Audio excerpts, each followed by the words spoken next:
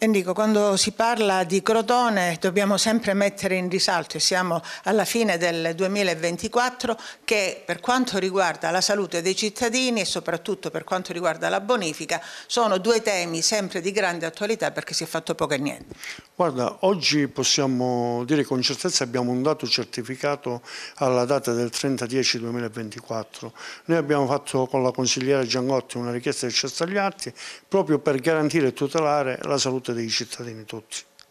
In tutto questo dobbiamo aggiungere che ci sono delle aree inquinate, delle aree che hanno bisogno di essere messe in sicurezza, ci vorrebbe anche l'impegno del Consiglio Comunale, dell'amministrazione comunale. Guarda, più che altro del Consiglio Comunale, eh, l'impegno per quanto mi riguarda io e della consigliera Giangotti, c'è anche l'impegno di altri consiglieri comunali che, eh, che, naturalmente si interessano alle problematiche ambientali. Quello che preoccupa è che il commissario preposto o il sindaco che è la massima carica istituzionale sul problema igienico-sanitario devono intraprendere iniziative a tutela della salvaguardia. Perché dico questo? Se su via Fermi sono stati fatti dei lavori e non si sa chi è la ditta che è andata a fare i lavori o per conto di chi e per nome di chi, dove sono stati abbancati i materiali che sono stati rimossi, se si parla nella relazione di ARPCA del 110-2024 che c'è uno strato ancora radioattivo di un metro e mezzo di profondità, quindi la cosa preoccupa e preoccupa tutti.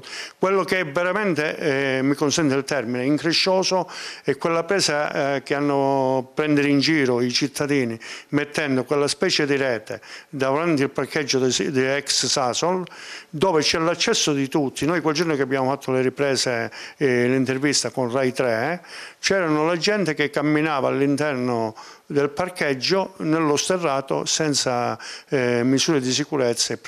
eh, si, i, i, presidi eh, che devono essere adottati eh, non li avevano. Come consigliere comunale insieme a Enrico Pedaggi avete eh, voluto avere dall'ARPACA i dati che riguardano Crotone, dati molto preoccupanti. Sì, noi abbiamo fatto questa richiesta accesso agli atti in questo mese proprio per capire lo stato di quel suolo dell'ex area Sasol e praticamente da quello che emerge, come avete potuto vedere, i, i, i dati sono molto preoccupanti. Purtroppo quell'area è un'area radioattiva e quello che ci preoccupa è che purtroppo i cittadini continuano ad accedere in quell'area perché non c'è un cartello che vieta l'ingresso, come si è potuto vedere c'è soltanto una rete che eh, delimita eh, l'entrata, però comunque tutta l'area che è grande 7.000 metri quadrati